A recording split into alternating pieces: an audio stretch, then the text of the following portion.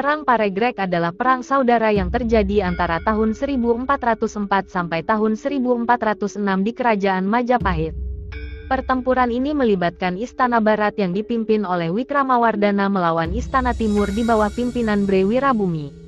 Konflik ini mendatangkan malapetaka di Kerajaan Majapahit, hingga mengakibatkan terkurasnya keuangan istana dan timbulnya korban jiwa.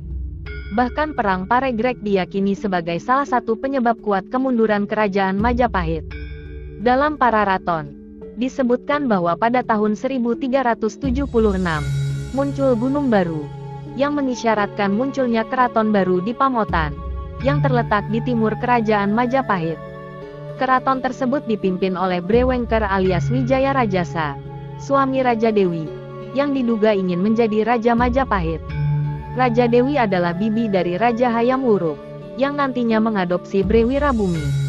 Menurut kitab negara Kertagama, Brewirabumi adalah putra Hayam Wuruk dari selirnya, yang kemudian dinikahkan dengan Nagara Wardani, cucu Raja Dewi. Setelah Wijaya Raja Sawafat, Brewirabumi diangkat sebagai Raja Istana Timur.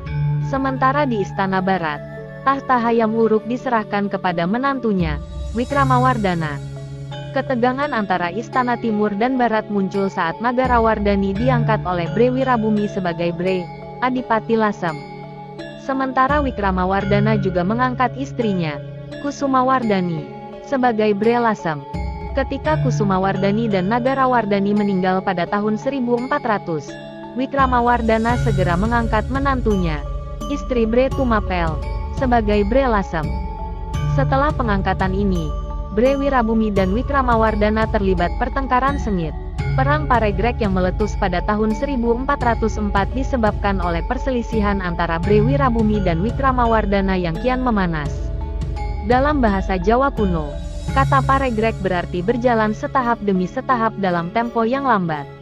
Perang Paregrek yang dimulai pada tahun 1404 pun berjalan demikian, karena pihak yang menang silih berganti. Selama dua tahun, Perang terkadang dimenangkan oleh Istana Barat dan terkadang oleh Istana Timur. Perang Paregrek akhirnya dimenangkan oleh Istana Barat pada tahun 1406.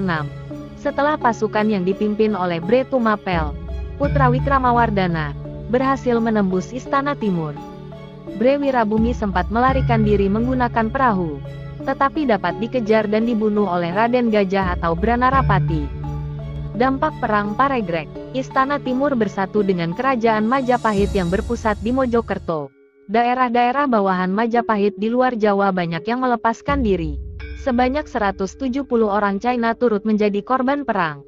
Wikramawardhana harus membayar ganti rugi ke China sebanyak 60.000 tahil. Wikramawardhana dan penerusnya tidak mampu membangkitkan kejayaan Majapahit.